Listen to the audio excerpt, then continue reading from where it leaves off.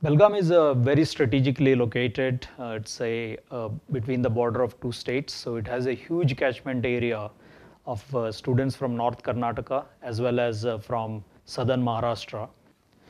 We have a very uh, well-established brand uh, image in that area. We are one of the first ones uh, ever to move and establish at a grand scale.